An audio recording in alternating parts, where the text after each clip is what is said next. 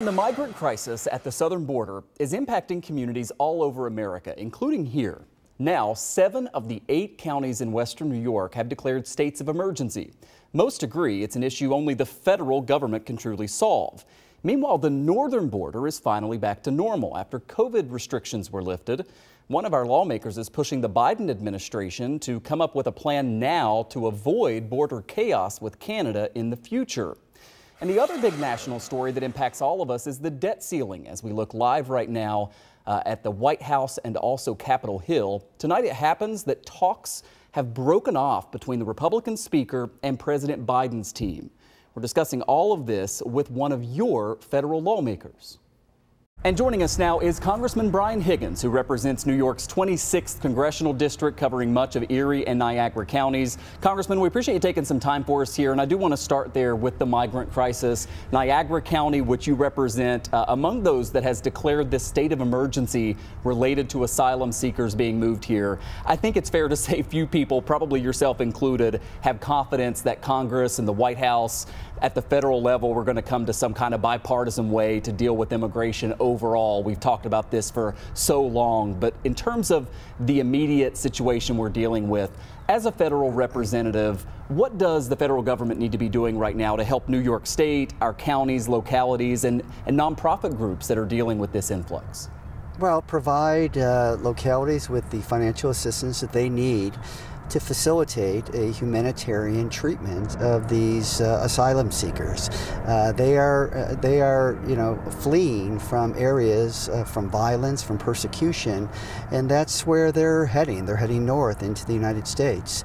Uh, the reality is uh, Congress has failed in this responsibility for two decades to enact comprehensive bipartisan immigration reform. We have a country that everybody wants to be in, and this is no surprise. So when when you have a situation at the border, it has to be managed properly. It has to be managed in a humane way. Uh, but it, this is no surprise, and it's the failure of Congress to come up with comprehensive uh, immigration reform.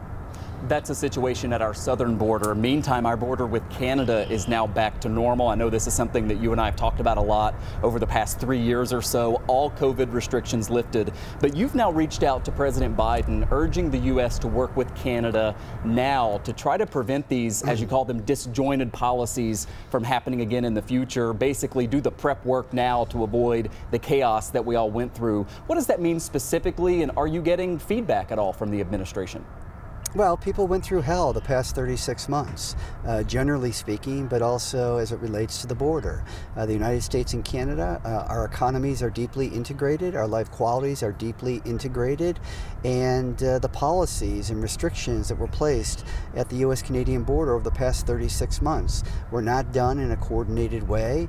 Uh, that was disjointed, it was frustrating for people, it undermined uh, the economic benefits that normally occur uh, as it relates to the border and the U.S. and federal, uh, U.S. Canadian, U.S. and Canadian federal governments need to do a much better job in coordinating uh, policies as it relates to restrictions and lifting those restrictions. What typically happens in times of emergency, whether it's uh, September 11th, uh, 2001, or the pandemic, is restrictions are placed uh, on uh, on movement as a precautionary measure. But when that emergency dissipates uh, it's, they're very slow to uh, lift those restrictions. And that's what I'm calling on uh, Canadian and U.S. federal officials to begin doing now. Establish a policy that uh, if and when, and it is likely that it will occur again at some point in the future, that it's done in a much more coordinated uh, way where both the U.S. and Canadian federal officials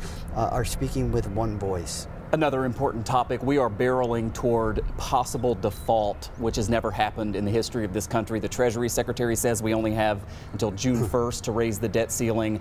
I wonder if you're aggravated that it now seems the negotiations are between just the President and the Speaker, and, and those negotiations may have sort of fallen off uh, all, all, of a sudden. Um, and where do you stand on the President invoking the 14th Amendment? Because Congress has basically told the administration, we passed all these spending bills, you need to spend all this money. At the same time, we passed this debt ceiling, so you can't you can't borrow more money to pay those bills. The administration can't do both of those things. Should the president just keep paying the bills?